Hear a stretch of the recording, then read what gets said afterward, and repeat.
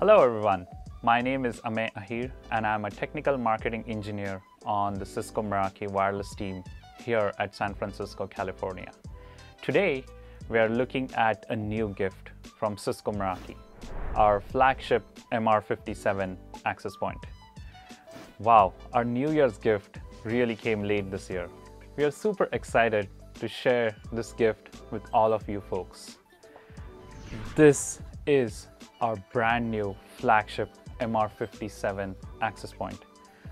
Now let's go ahead and look at what the AP looks like and what you will get in the box. So this is the box. As you can see, it's a very clean, sustainable, designed, minimalistic box. So as I go ahead and start unboxing, here is the first look to the AP. Now, we have included an installation guide with the AP. This does come with a QR code with very detailed instructions for this access point. We now have changed the form factor of our AP.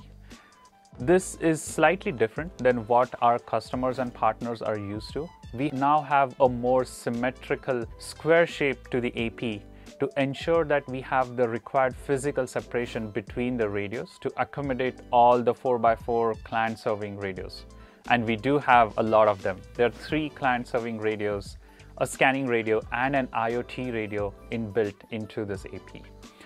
Now, as we become more compliant, we want to take advantage of the Cisco Universal Mounting Bracket. Again, this is included in the box along with all the hardware that's needed. And we have also included the T-Rail mounting bracket to mount this AP on the ceilings. So all these uh, hardware and the mounting is included in the box uh, with the AP tucked in a really nice packaging as you just saw. Now let's talk about the AP over here.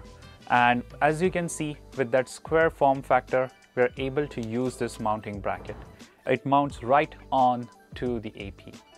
Now another change with the square form factor we have made is move the LED from the side of the AP to the front of the AP. Now this will help in a lot of troubleshooting scenarios where folks want to really know which AP am looking at and which AP I'm troubleshooting. We now have two Ethernet ports on the AP. These both ports can be used for link aggregation as well as power sharing between the two and will also be supporting high availability from these two ports. We also have support for an AC power adapter. This is for a more work from home setup where you can power up the AP using this AC power adapter. Now we have also gone ahead and added a USB port to the device. As you can see, this USB port is a type A port to unlock a sleeve of third-party applications and to provide more connectivity options with a 9.5 watt output power. Now, if you're not using the USB port, we have provided a covering to make sure that this port is concealed the times when it is not getting used. Now, another change that we have made is towards the Ethernet bay.